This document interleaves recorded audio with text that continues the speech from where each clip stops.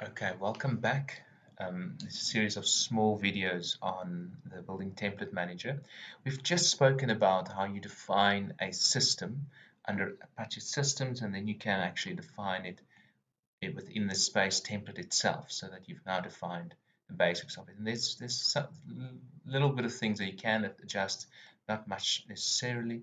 The next factor that you can define while you've only defined the, the space systems and nothing more, is actually the heating and cooling profiles and the hot water consumption profiles. Now, you'll see here um, the heating profile at the moment says that heating will be continuously on. Now, important to remember, if you are defining it as naturally ventilated, which means in your systems, you've basically said that there isn't any heating and cooling taking place, then really you can do what you like um, your heating profile can be on, but it's not going to run.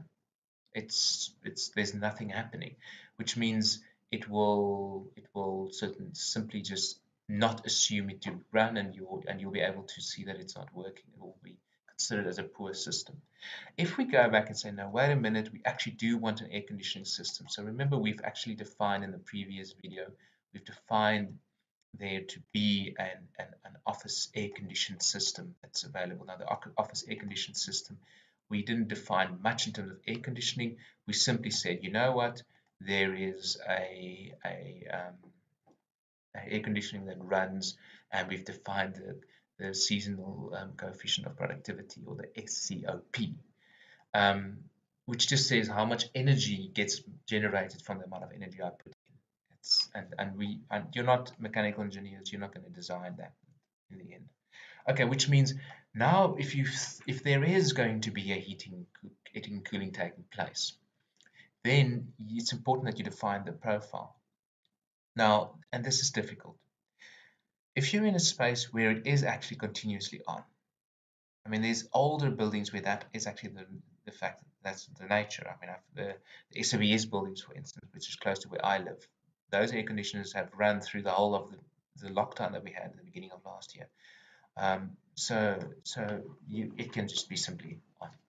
And you'll see then you, you, the heater will be on, but it will only switch on when the heating set point is defined. So when the temperature drops below 19 degrees Celsius, then you can say, okay, wait a minute, it switches on.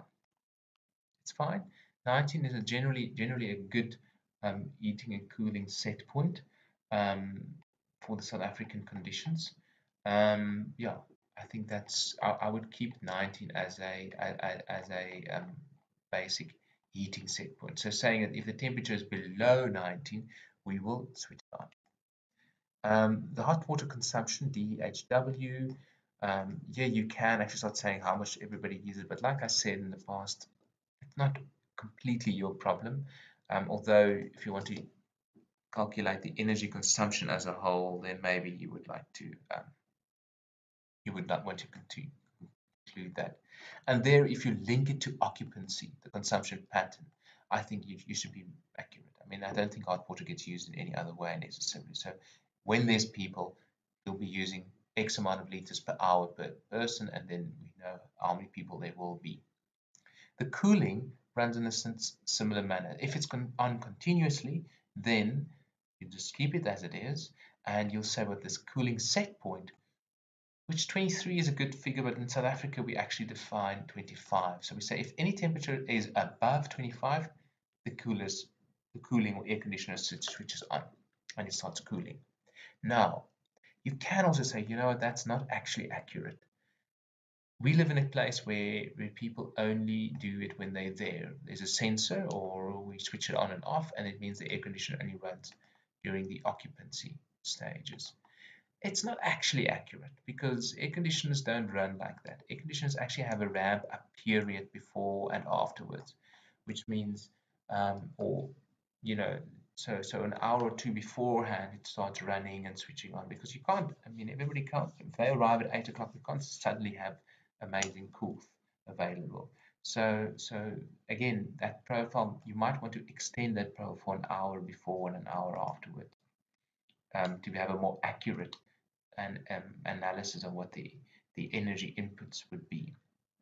But as you can see, you can also define the actual occupancy of that or the switching on and off of that to give us an idea of what the energy use is, which might be, and newer buildings do try to do that. They don't keep the air conditioner on at full blast all the time.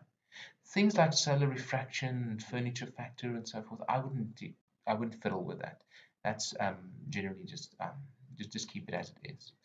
Okay, so the next video we will start working with the internal gains and the air exchanges and um, then we will deal with construction technology. So is just the final part of air conditioning systems.